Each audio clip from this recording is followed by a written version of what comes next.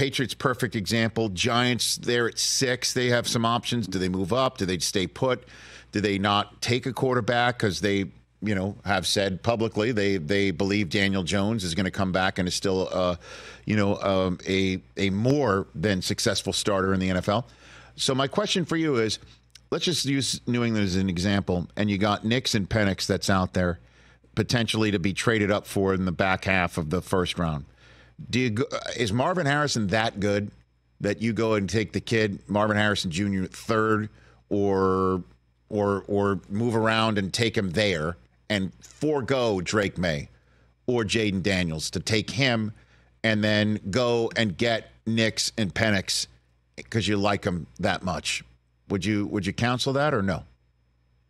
You consider it, but at the end of the day, the number one priority has to be let's get the quarterback right. And I think the Patriots are a great example because you look at uh, the situation with Robert Kraft. He's, I think, what, 84 maybe? Uh, he just watched an offense last year where it was it was a train wreck. And I don't think he's ready to go through that again. He he doesn't want to go through a, a so-so offensive season uh, just to get the wide receiver. He he wants that injection of life. He wants that quarterback. Now you have Eliot Wolf, who's uh 40 years younger and i think he'd be more open to a trade back situation or a marvin harrison jr uh, as opposed to taking the quarterback because he sees maybe more of the long term but drafting a quarterback in the first round especially the top 10 that is an ownership pick and that is a big part of this conversation is the ownership has to be and the giants are a great example of that. We know that they are they we know they like daniel jones. And at the end of the day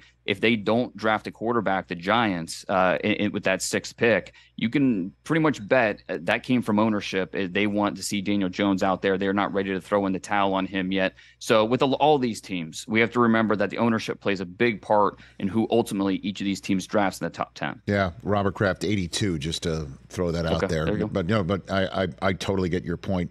Before I let you go, Dane, um, the prospect you love you're just like, you know what, I'll pound the table for this guy.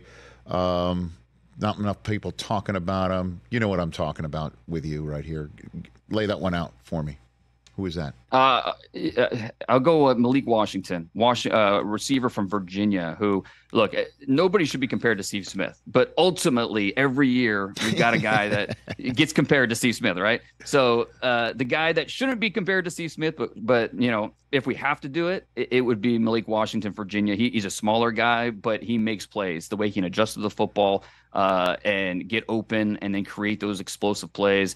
Uh, that's the guy, late third, early fourth. Uh, I, I, don't think he's going to go too much higher, but uh, that's a guy I think could see making a pretty instant impact uh, on defense. Andru Phillips from Kentucky, a corner who doesn't get enough love, uh, undersized, but he is a really good player. I think he's another guy that should be at least a second or third round pick that doesn't get the respect he deserves. Well, I mean, you mentioned Washington there. I mean, it just shows you how deep this draft truly is at wide receiver. And I know we say it a lot. It seems that we're saying every year. This just feels that way.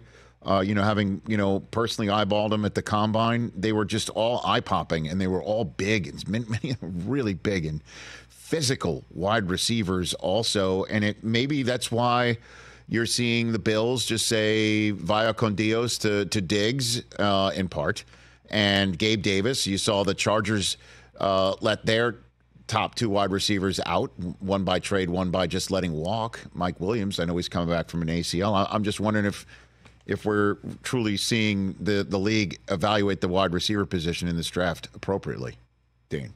Yeah, you know? I'm I'm convinced that the rest of our lives, wide receiver is going to be a strength. uh, that's if you're not a quarterback, you're going to go to wide receiver. If you're a young kid growing up, because you want the ball in your hands, and that's what the NFL has become uh, is a wide receiver league. And so last year was a strength. The year before it was a strength. Hmm. This year, uh, Marvin Harrison Jr. at the top, but Malik Nabers. Some teams have him as wide receiver one. And uh, do you? you do in, you?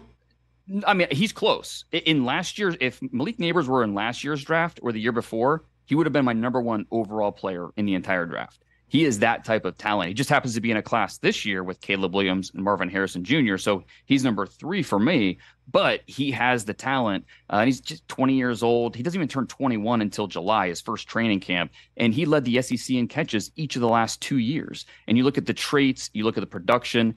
Uh, the, the simplest way to put it with Malik Nabers he doesn't have a limitation. There is not a single limitation to his game. So all these receivers are easy to get excited about. Rome Odunze in that conversation as well. And then to your point, it, this is a position that stretches second round, third round, fourth round. A lot of really good wide receiver talent in this class. But I think they're going to go. I mean, in the first two rounds, we could see 14, 15 receivers. Wow. So it is a case of you can wait on your receiver, but they're going to go fast. So I, I think we're going to see a lot of teams go that direction first, second round. Catch the Rich Eisen show every single day on the Roku channel, 12 to 3 Eastern for free.